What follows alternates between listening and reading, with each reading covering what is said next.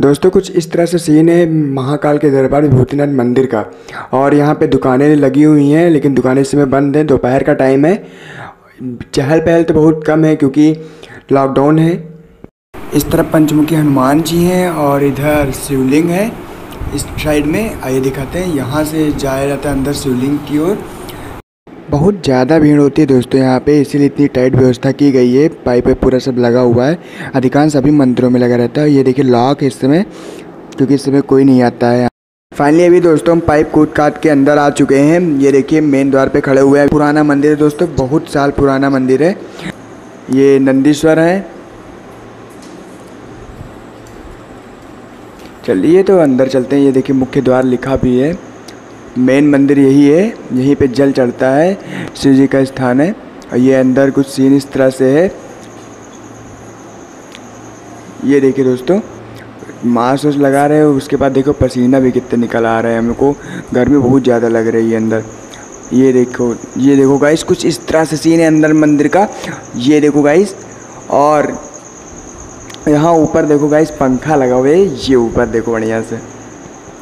गए देखो हम गेट के बाहर आ गए हैं, और ये जो रास्ता देख रहे हैं, यहीं पे परिक्रमा होती है, जल लेकर परिक्रमा की जाती है।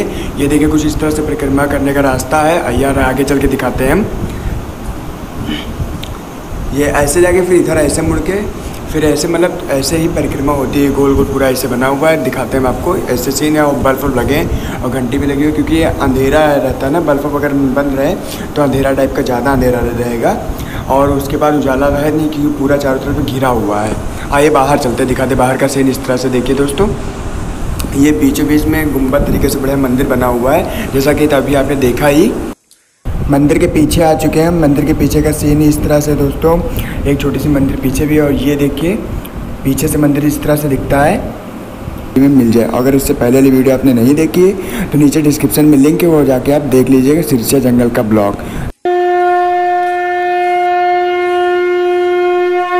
ये जो छोटी सी मंदिर बनी इसको भी देखते हैं दोस्तों, कुछ किस तरह से सीन है अंदर का। ये देखते हैं। ये तो बंद है गेट तो आगे चल के दिखाते हैं दोस्तों, पीछे से ये देखिए पूरा कुछ लोग खड़े हुए हैं और भीड़ तो कुछ है नहीं और मौसम भी काफ़ी अच्छा है। हम चलते हैं आगे दिखाने, मंदिर, यही मंदिर, मुख्य मंदिर यही है दोस्तों। दोस्तों, अभी जो मैंने दिखाया ये विभूतिनाथ मंदिर का मेन मंदिर था, ये हनुमान जी का मंदिर है आगे। चल के हम दिखाते हैं। और ये बता दूँ आपको सिरसिया क्षेत्र के इलाके में ये पड़ता है दोस्तों। काफ़ी बड़ा फ़ील्ड है, काफ़ी बड़ा मंदिर भी है। और कई मंदिर में ये बटा हुआ है। छोटे श्री पंचमुखी हनुमान जी का मंदिर है ये। और अभी इससे पहले मैंने दो मंदिर का सीन दिखाया है और ये तीसरे मंदिर का सीन है। और ये देखिए पूरा सीन दोस्तों, बाहर से ऐसे दिखता है सिनेमेटिक रूप में।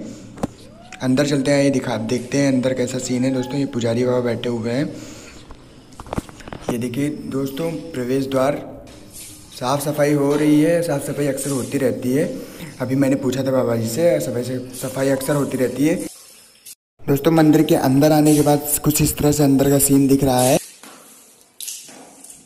माँ जलसा लिखा हुआ है। आप पढ़ना चाहें तो स्टॉप करके पढ़ सकते हैं।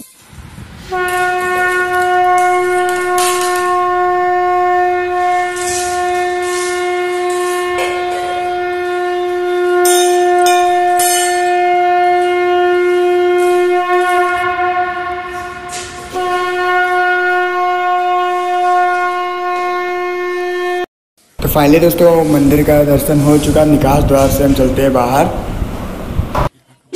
बाहर देख लिए दोस्तों, जो दुकानें उकानें लगी हैं, इस तरह से दिख रही हैं और इस तरह से लगती हैं किनारे और दुकानें उकानें फ़िलहाल सारे बंद हैं। और दोस्तों, हम बता दें आपसे, ये मंदिर पांडवों द्वारा स्थापित किया गया था और इस यहाँ आके दर्शन करने के बाद जो इंसान कुछ भी मन्नत माँगता है, उसकी सारी मनोकामना पूरी की जाती हैं।